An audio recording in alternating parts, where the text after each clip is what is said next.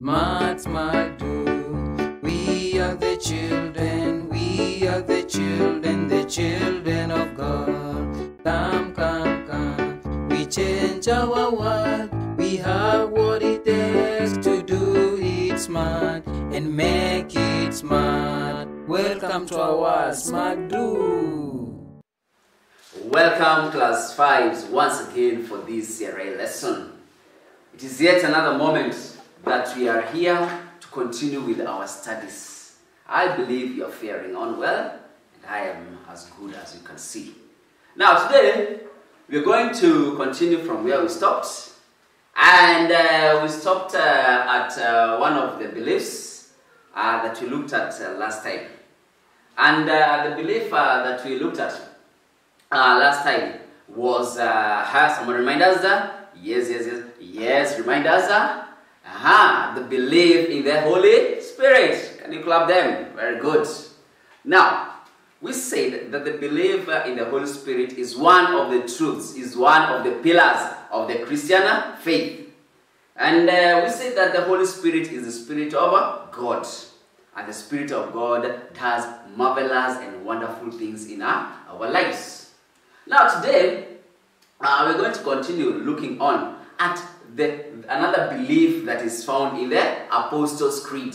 Remember, we are looking at uh, the topic expressing our faith, and particularly the Apostles' Creed.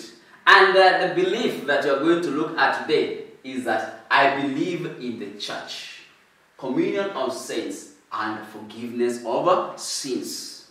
So, as uh, Christians, uh, these are some of the things that uh, are held dear in uh, our hearts because we know that Jesus Christ came and fulfilled all this.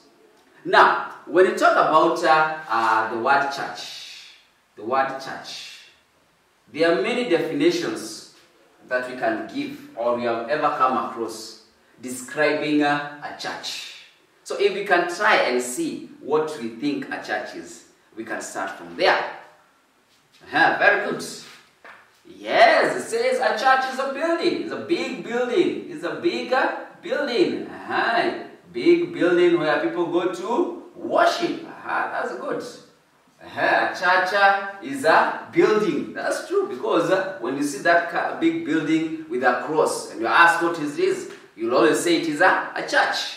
That's a good one. Another person who might have an idea what a church is. Uh, uh-huh. Yes, yes, yes, yes. I try there.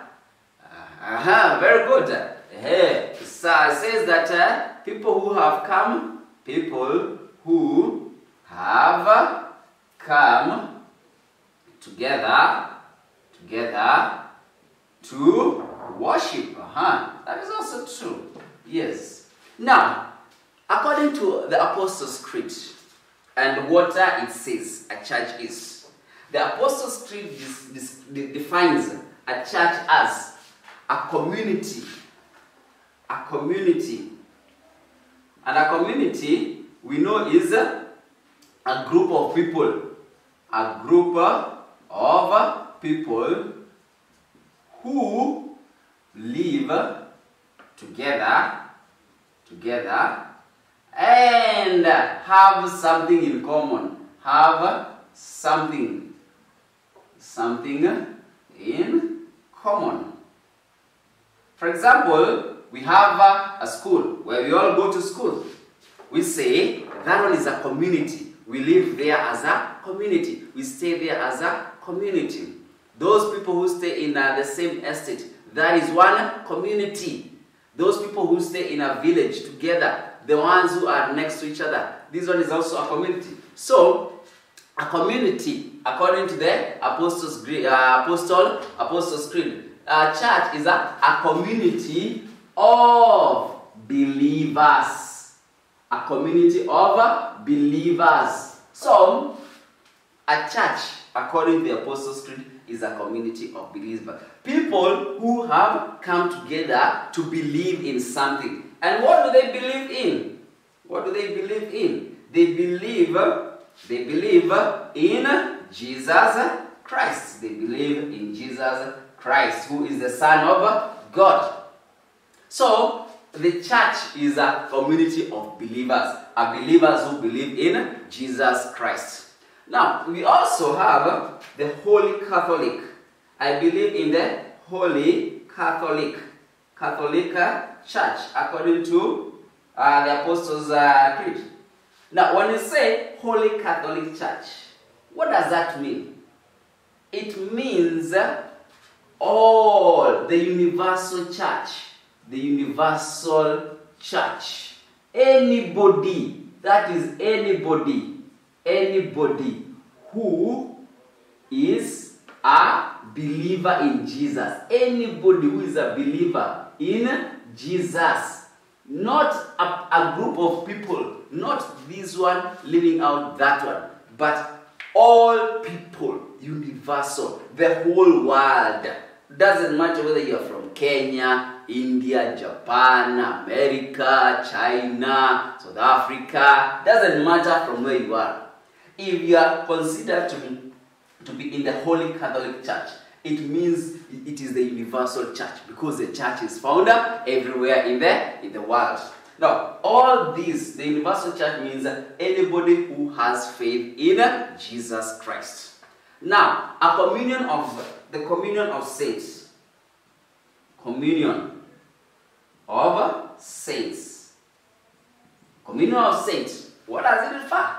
All those people who have faith, they have faith in Jesus. They have faith in Jesus. So it's the same case as talking about anybody who is a believer in Jesus Christ. When they come together, they share that holy communion.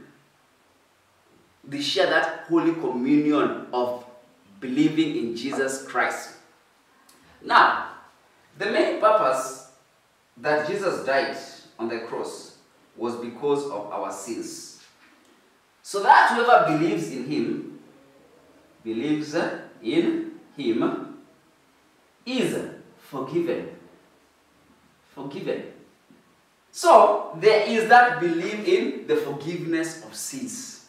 That no matter the kind of sins that you have committed, you have a chance to be made right with God. And that is the purpose that Jesus had. The main mission he had here on earth when he died. He died for our sins so that we can be forgiven and live alive closer to God. And this one is shown well in the book of Galatians, chapter 3, verse 28.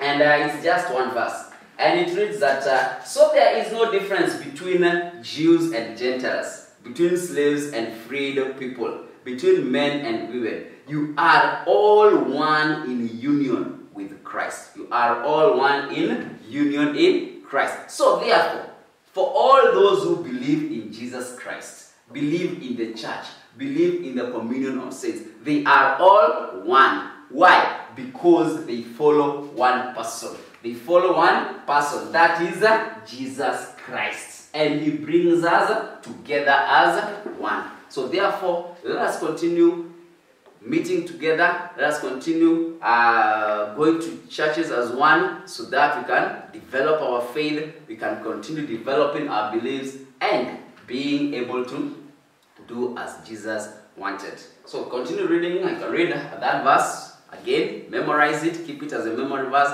and I'm sure it is going to guide you even in future. Thank you, and I hope we meet some other time.